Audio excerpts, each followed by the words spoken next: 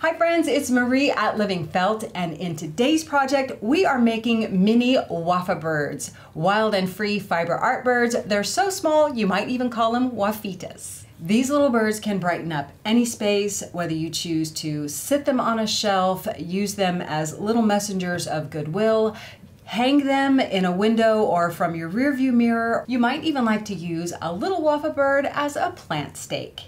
In today's project, we will go over how to form the armature for making these little birds, how to make sure they stand, giving them perfect toes, wrapping them in wool, treating them with your favorite colors for whatever mood you're feeling, and we'll also look at a variety of embellishments for different styles of wings, potentially giving them some tails and a beak. If you like, you can also give your waffa birds little glass eyes. All of that we'll cover in today's project.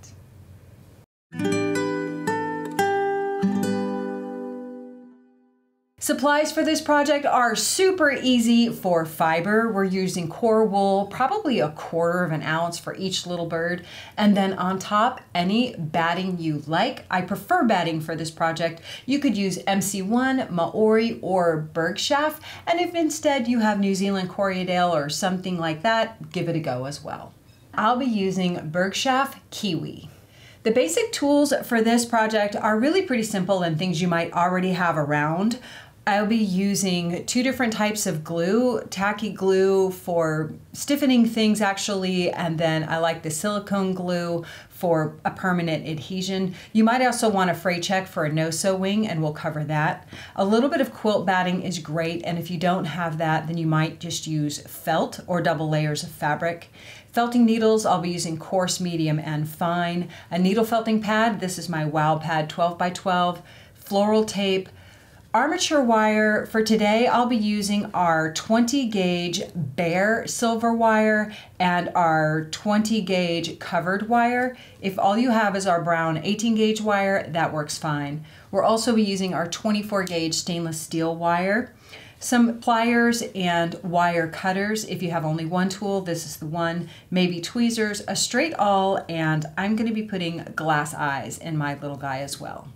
We will be looking at a variety of wing types, so grab any pre-made felt, maybe paper, scrap fabrics. I've also brought in our sari ball yarn ribbon and some embroidery floss, maybe some buttons, needle and thread. If you'd like a little helper for today's project, you can download the PDF with these diagrams below. Our underbird is going to look like this. Very easy to make.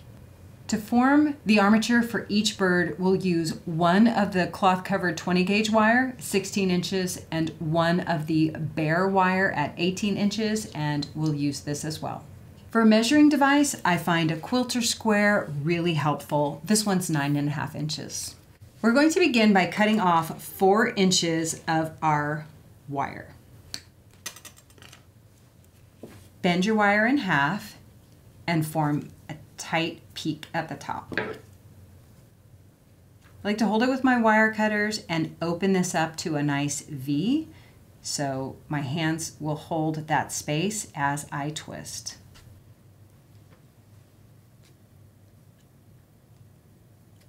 The main body of the bird will be about four inches long and then you fold the rest back in onto the body. If you fold in these sharp ends and twist them around, it keeps them from poking out the end of the fiber. And of course, you could cut more off if you want as well.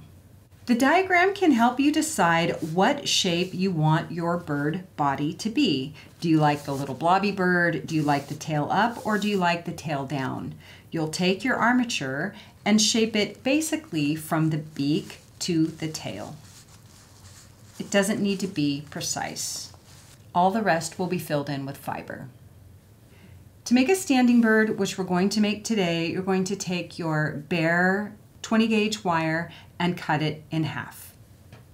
Each of these halves will be one leg and the major toe. Place the wire approximately in the bend of the bird's body. Leave a few inches to wrap around the body. Give it a nice bend and then we're going to want to really crimp it down onto the body with your pliers. wrap around the body. If your ultimate goal is for your bird to be a plant stake, you can stop right here with the single wire. Repeat the exact same with the second leg. The placement for the legs really is going to be approximately two thirds of the body is going to be towards the head and a little more like a third towards the back. You might need to play with balance the first few times you make them, but try this as a starting point.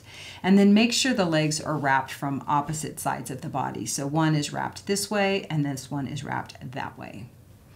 And then you'll end up with this. Each of these leg wires I'm going to cut to three and a half inches.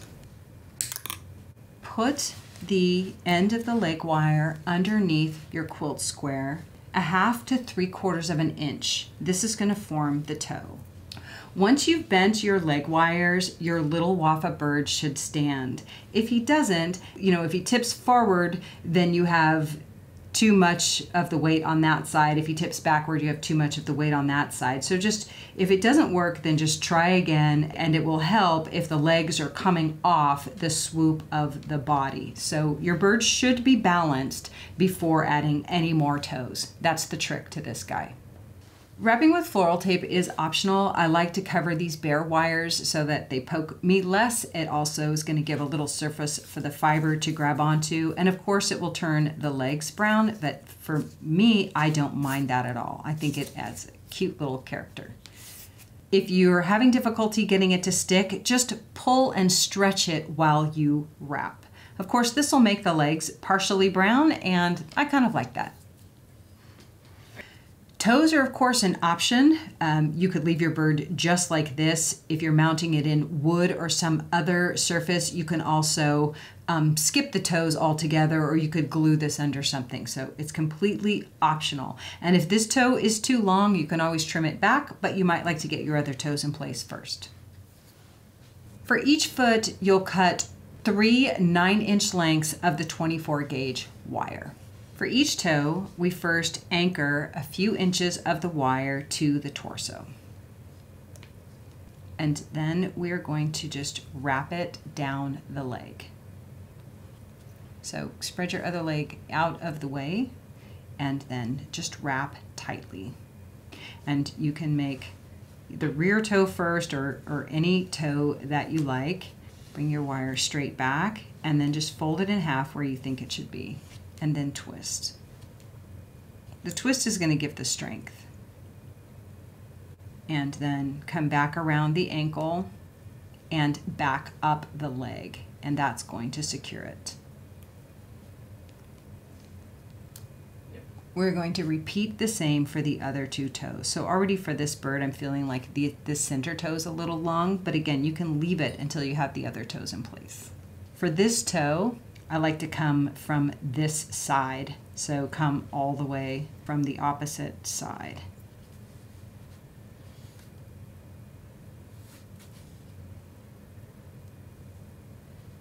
With this extra wire that you have after wrapping the toe, then just come back, you know, tightly around that ankle and that'll make it, keep it from being loosey-goosey. So crimp it to the ankle if you can and then wrap it tightly back up the leg you can see why the floral tape is, you know, is going to hide, hide all of the inner workings of this foot once it's in place. And I'll repeat with the last toe.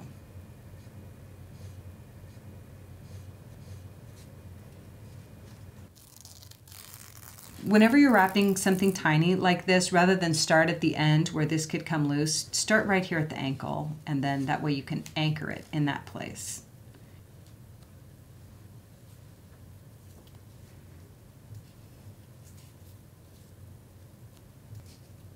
Once you finish wrapping the toes, then just work your way back up the leg. Always just overlap any, any torn ends. And remember to pull tightly. Repeat with the other leg. Bird should stand at this point and it's a great time to position the head and the tail and the legs in the place that you want them. With our armature in place, it's time to cover our little bird with core wool. The key here is to use thin little strips that you can easily control so that you can create a very tight understructure. The tighter you wrap, the less you'll have to needle felt. Anchor the fiber a little bit lower on the neck so that you can wrap back over it and work your way towards the beak. Wrap very tightly. Once you reach the beak, wrap back down towards the body you might find it's easier to twist the bird than to flip the wool that gives you more control. Hold that tension very tightly until you get to the end of a strip and then it's time to use your coarse felting needles to anchor that fiber down. Needle felt at an angle so you don't hit your wire.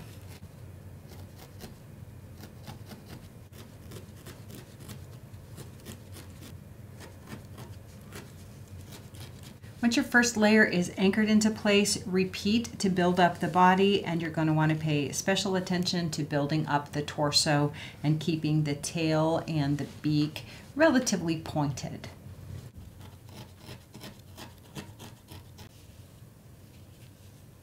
To make the buildup of the bird a little more bird-like, start your next wraps to focus on the chest and the belly of the bird.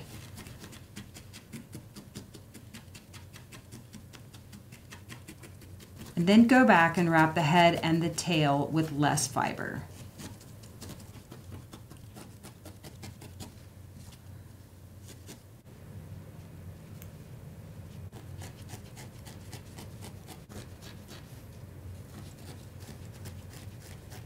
Once you've added a second layer to your bird, it will look about like this, a little bit thicker all the way around, but we want to give him some tummy and the way to do that is to build it up in a little pooch or a little pocket right there. So start with a tuft of wool like this, and then you're going to make a little pooch just like that. And roll it, you know, nice and dense, and then put it right on your bird. And we're just gonna needle felt it right into place, just like that.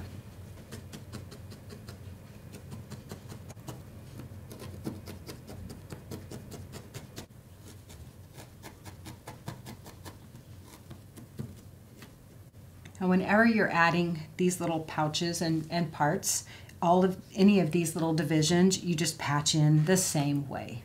So just a little layer or a stack will often just fill in a little crevice very nicely and just smooth everything out. That is the magic of batting.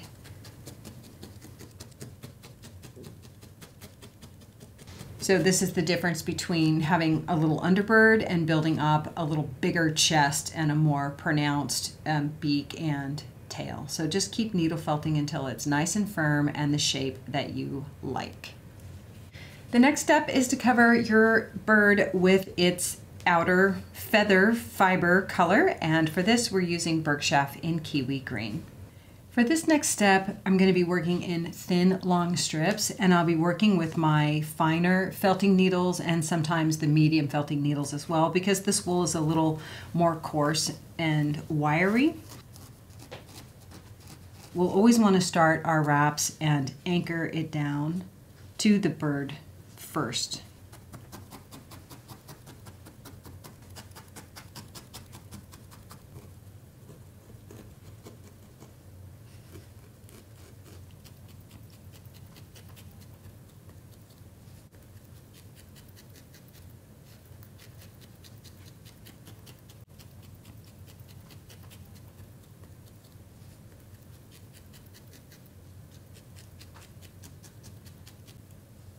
If the legs aren't going to be covered with yarn or any other fabric wraps, it can provide a nice transition just to give them a little wrap. Honestly, sometimes I skip it, but giving them just a little bit of fiber and tacking it into place will provide a nice transition.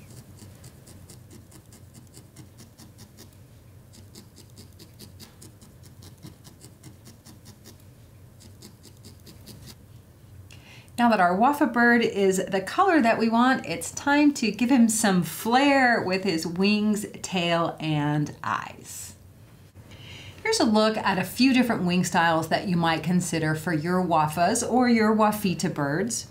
This wing is needle felted wool batting. You can needle felt just the shape or you can even needle felt it over pre-felt or wool felt depending on how durable you want it to be. So just follow the shape of your wing. This wing is made from wet felt fabric. You might recognize it. We've used it a number of times and I cut out a specific shape from our greeting cards patterns. But you might also cut out a very simple wing and include some textural elements from your little artful felt fabric or whatever you've wet felted. This wing is actually also needle felted and we needle felted some fuzzy yarn, which I used in uh, one of our vessels from the friendship vessel onto pre-felt. So I cut the pre-felt out of the shape first and then I just needle felted the yarn on and you can needle felt that or glue it right to your bird. This wing is a sewn, it's a top stitch with a fringy edge. We'll show you how to do that. This is a complete no-sew wing and we've used quilt batting. You could also use felt and adhered silk fabric from our Sari Party uh, fabric samplers. This is just a paper wing from paper we included in our April box. So it's a handmade paper with some music notes printed onto it. That could be fun. This is more of a traditional um, sewn and turned wing. We'll be looking at that in a moment. So this is from Quilter's Fabric. This is an upcycled fabric, actually from a vintage cotton sari, and two pieces have been sewn together and top stitched. And this is probably the most fussy of the bunch, and it is a sari ribbon from our sari balls that have been stitched to quilt batting and then cut to form this frilly, fluffy wing shape. One consideration when you're choosing your wing style is the final position that they'll be on the bird and what will show from the opposite side. So this wing is made with an orange background and it kind of matches the bird. So you can have the wing showing off the bird a little bit and it doesn't look like you're seeing the underparts. It looks just fine with a wing like this one, you probably don't want that batting sticking up off of your bird to show. Um, so you probably don't want it sticking off. So a wing like this, we will fully adhere to the bird. A double-sided wing like this would be okay if it's sticking up because it will look cute from either side. So when you're choosing your wing style, you might think of the final placement and position. In the PDF, we're giving you a few different wing sizes to consider. In one thought is just smaller bird, medium bird, larger bird, but there are a few different ways we can use these and we'll show that to you as we go through these few different wing styles. Either way, you might want to pay attention to how the wing is shaped. With the wing this way, you can see that this is downward sloping and then this is a little more rounded.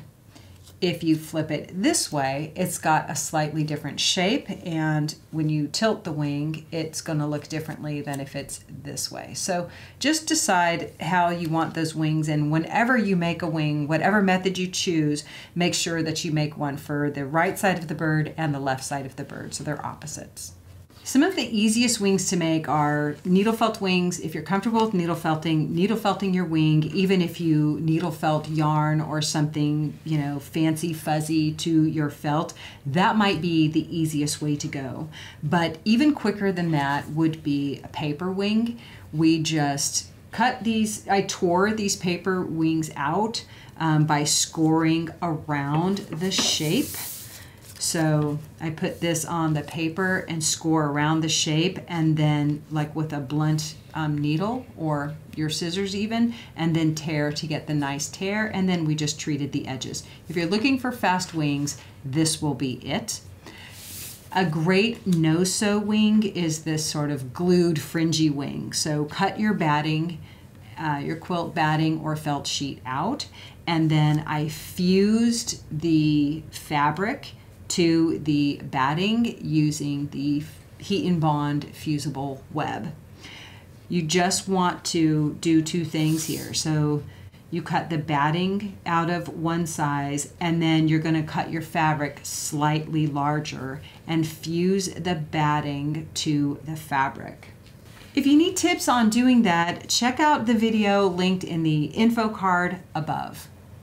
Once it's dried and cooled, then you can just go around the edge of a fabric with a straight pin and just flick out the weave so that it gets loose and fringy. And this is a pretty quick way to make some interesting one-of-a-kind wings. What I do after I get all that done and you got some long bits sticking out, well then you just go around and trim all of those to the same length. With a wing like this, we're just going to glue it onto the body of the bird. Gluing a wing is an option, but it does come with its own challenges. In this case, we're going to glue this wing onto our little bluebird, and we don't want to glue the fringe down per se because the glue would show through those bare threads. So just take your time and apply the glue to the batting. Don't go all the way to the edge, so you give yourself some room for the glue to smush out when you apply the pressure. And then once you have it seated where you want it, you can go around and add extra glue along the perimeter perimeter as you need. This glue I have is fast drying and we just have to work our way from one end to the other to allow any gaps in the fabric to work themselves out. A really easy sewn wing is this top stitched fringy wing. So you want two sides of your fabric and in this case you're going to have your fabric with the right sides out so I'm just going to pin the batting to the fabric so I can see how to trim the fabric you want to trim the fabric just slightly larger maybe an eighth larger than the batting Once it's cut out, then you're going to put your batting inside the two pieces of fabric. So it becomes a little sandwich. It doesn't need to be perfect because we're going to fringe it after it's sewn, but do try and get it lined up and then pin it back together. And then you'll take this to your sewing machine or you will hand stitch just on the outside of where the batting is. So try, just try and go right along the outside of the batting and then you'll come back with your pin once you're done and fringe the edges just like we did in the other. You'll just flick it so that it's slightly fringed and just a little scrappy looking and it will make a really cute wing. This fabric here is from Vintage Cotton Saris, which I have a collection of, and it's really so paper thin that it's a little challenging to work with. I just backed it with a lightweight fusible web to give it a little more integrity, and then I sandwiched two sides together to form the bases of this wing. I didn't put any batting inside. I traced around the outside of the wing pattern so that I could see the basic shape. And then I just did a running stitch around the outside of the wing. One thing that gives it a little more integrity and a little more strength is just to do running stitches up and down the length of the wing. I found it kind of easy to start in the middle and then go back and work either side but a running stitch is really this simple. You can just run, you know, the length or half the length of your needle and then pull it all the way through. And don't worry about it being even or uniform or even going in the perfect straight direction. This is going to add a lot of character and interest in the surface design just to add these very simple stitches. So then once you have your wing fully um, covered like you want, then just trim around the outside of that outline stitch that you started with originally. And that can then be applied to your bird. If you enjoy that hand stitching, you might like to try a wing like this. So this wing started out plain and we hand stitched the perimeter trim, just doing a straight running stitch, just like we demonstrated on the prior wing. And then all of these interior stitches actually connect the wing to the bird and they're pretty random you can see but the key is to use a little uh, upholstery needle because this will allow you to go into the wing and into the body of the bird and grab hold of that and then come back through. To begin, I would tie a knot in the end of my thread and then start your first stitch, let it anchor somewhere um, under from underneath the wing and then come back up through the top. So then that thread tail will be hidden and then you can just continue to stitch and anchor the wing to the body as you go. So that's my tip for doing this. Just have fun, let your stitches be random, but try a curved needle and only worry about the interior stitches being the ones that anchor the wing to the bird. This little wing is created by building up layers of fabric. More specifically, I used our sari ribbon because it's already in thin little strips. And then I just chose coordinating colors and patterns that I liked how they went together. Like the other wings we looked at, we start this with a base of quilt batting. You could also use a double layer of fabric or perhaps even felt if you want something a little bit thicker. I did find it was nice to cover it with a base of fabric um, because in these layers, if anything shows, it would be nice that it's at least a color instead of just white material. But that's subjective, totally up to you. This is machine sewn. It could be hand stitched, but it would be quite tedious, I think. And it's really just a process of building up layers of these thin little strips. I cut them all into just long rectangles. We'll place it, the first one at the top of the wing, as close to the top as you can, and then you'll stitch it right to the top of the wing. Once that piece is in place, it gets folded up. So essentially this becomes the treatment. And then the next layer is sewn in and as close to that line you know, where it's joined to the wing as possible. And I do it by opening it up and stitching up the middle, fold it up and add the next piece.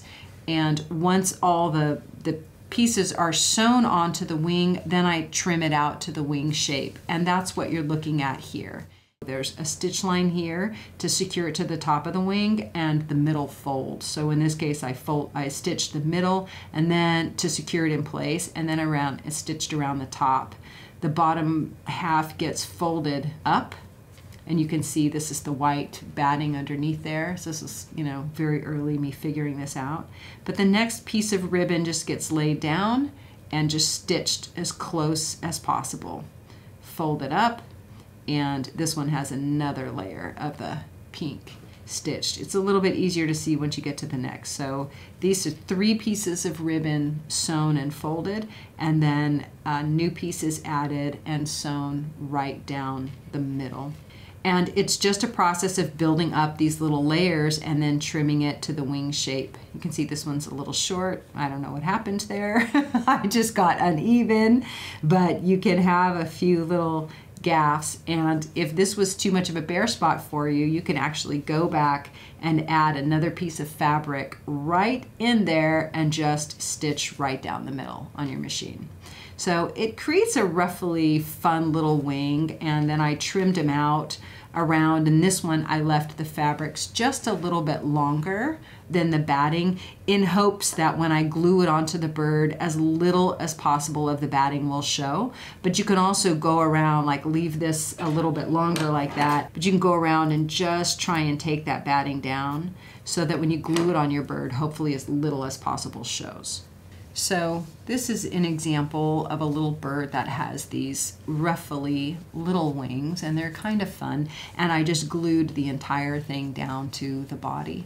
Um, if I were to redo it, I might revisit, you know, how long I leave that fabric like I did on this one. I left it a little bit longer so that less of the batting shows through.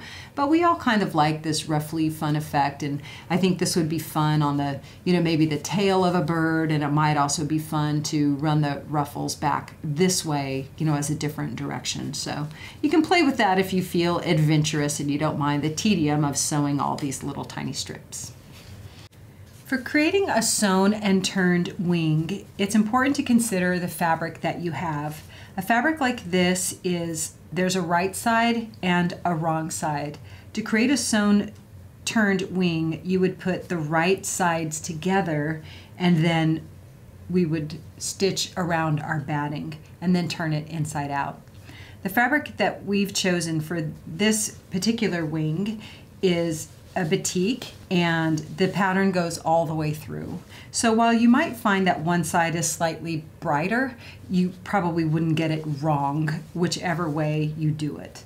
So just consider that. The other thing is the pattern on your fabric. Is there a particular place uh, that you like for a section of the wing? Like, would you like more bubbles on the front part of the wing and less bubbles on the back side? If you're doing a printed fabric like this, you might think about what's going to show on your wing and the direction of those wings if you're making two.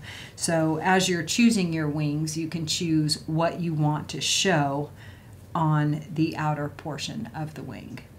So consider the pattern, the direction of the pattern, and for creating a sewn and turned wing, we want right sides together on our fabric. To make this simple sewn and turned wing, we start with size B in our quilt batting. Pin the batting to your fabric and then you will machine stitch around just the inside of the quilt batting, leaving a small opening to turn. I mark the opening so I remember to leave that opening and then I like to just cut a couple of notches and trim the quilt batting down as close as possible to make it easier to turn the wing inside out. When you get to the part that's the opening where you want to turn it, because this little area is so small where we're going to be turning the fabric inwards, I find it helpful if you leave just a tiny bit of extra fabric so that you have a little more room to fold and finger press the fabric. Turning your little wing inside out can be a challenge because it's so small, but you just want to poke, run something that's rounded or curved and not too pointed to help push your way around all of the threads and poke out the tip just the best you can. Finger press that little area that you left at the, the turn spot as best you can to bring those two edges together to a nice shape.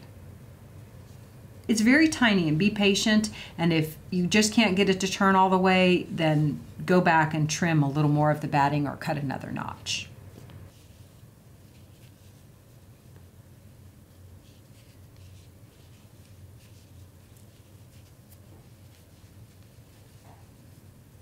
For this little bird that we've made together, I've chosen this wing style and pattern.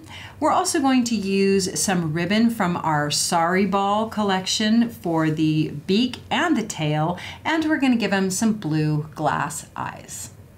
The beak will be treated with glue as a hardener and needs to dry. So we'll make that first and set it aside and I'm going to use a small cut of armature to help us anchor it in our bird. Just a few inches is really all you need. Cut your wire just to a few inches. It's probably, you know, three, three, four inches long. And these little tail parts are gonna stick into the bird. We really want two. We want two little spikes to go into the nose of the bird. And then draft your ribbon, just pull it through the very end and, and clamp it down. So just take your ribbon, it's perfect if it's folded over. We want a nice um, pointy beak, helps to spread those out. And then we want it a little bit thicker where it's going to be on the nose of the bird. And I don't mind it being like wrapped and folded over on itself a little bit. But we, we want is a conical shape that's thicker at the back than it is at the front. So play with that, fold or twist it as you need to so that the end is pointy and then the back part can be a little bit bulkier. Just hold that tension and all of these loose fibers are going to lay down because we're just going to put our tacky glue right on there. You can just stick this little beak into something and let it dry overnight. So get it all laying down just like you want. Make sure it's a good little conical shape and let it dry. Our beak is dry and this is what it looks like. So it's a little bit darker than the original fabric, but it's actually just perfect for our bird. To insert this small beak into the nose of your bird, I found it really helpful to have both of these wires because sometimes when I have only one wire, it just wants to spin or when it's so shallow like this, you're constantly running into the armature. With having two wires, you can sort of go around the armature and then you have a really solid anchor. So use your straight awl to create two small channels. If your wires are too long, you can just cut them. Just the most important thing is make sure you have some distance you can travel into the face of the bird. Once you have it in there and you're happy, you can leave it in place and add the glue for the final adhesion. I like this silicone glue because it dries clear and also it dries very quickly, whereas the tacky glue tends to be a bit slower and I do like to use the tacky glue as a hardener. In this case, we used it as a glue and hardener on the beak at 100% um, so that we got a really strong bond, but the silicone glue is just perfect for the final seating of this beak. Also, it has no odor, which I find a real plus. Let's insert our eyes, then we'll finish off by permanently attaching our wing and topping him off with a fun little tail. These glass eyes come on a rod. They're hand blown, so they're not always exactly the same on both sides. Just have fun with that, or you can also color and make your own. I like to cut the wire at a nice sharp angle so that it helps poke through the fiber.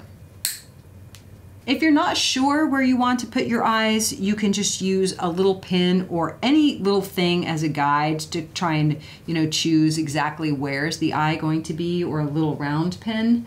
Um, and I want to go right here with my little eye. So a little hole, and I generally tend to, to make the angle slightly to the back just to help avoid hitting the armature. And again, before you glue them into place, just make sure that you can easily poke them in to look like you want them to. And you might want to even get both, both in place first. Once you know where you want them, then add the glue.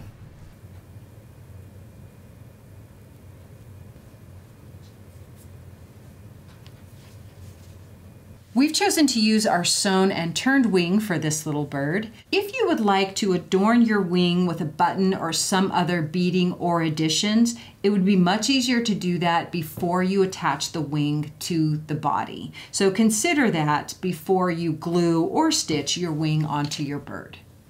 One method you might use for attaching a sewn wing, especially if you're willing to show both sides, uh, is to sew it on. In this case, we start with an anchor stitch in the body. Anchor the wing to the body by running along the curve of the wing. Run your thread into the body, through the back of the wing fabric, and back out again. And just go as far as you need to to securely anchor the wing into the position that you would like. Instead of knotting the thread, we ran our needle back up and down through the body underneath the wing and then just cut off the end. To create a fun and whimsical tail for our little bird, we're going to use this sari silk ribbon. And I want his tail to be about this long. Going to just tie the ribbons together in a knot and then see if you like that look on your bird. I think it makes him look fun and whimsical, so we're going to sew that into place onto his little tail. Start with your anchor stitch into the tail and then just run repeatedly through the ribbons that come right off the knot. Stitching through the knot is more difficult, so just stitch right at the base of the knot back and forth until you feel it's securely attached to the tail of your bird. The nice thing about stitching, whether your wings or your tail to the bird, is if you're not happy with the placement, all you have to do is cut the threads and put them back on. So consider stitching. You can be kind of messy about it because none of it really shows. To terminate your thread, run back and forth through the tail a number of times and you can place a few knots during those travels back and forth. Just pull the knot tightly and cut it as close to the body as possible. One of the things I just love about these Waffa birds is the huge variety that you can create with all of your fibers, fabrics, bits, bobs, even scrap materials, and also just your imagination. Everyone's going to make something different, so give yourself permission to have fun, play, explore, experiment, and make a truly one of a kind Waffa or Wafita today. Oh, we hope you enjoyed today's project. These birds are so fun for me. And the last time we shared the large Waffa birds, y'all made some amazing creations. So make sure to share yours in our Facebook group, Living Felt Friends. If you enjoyed this video and would like more tutorials on needle felting birds, check out this next video right here.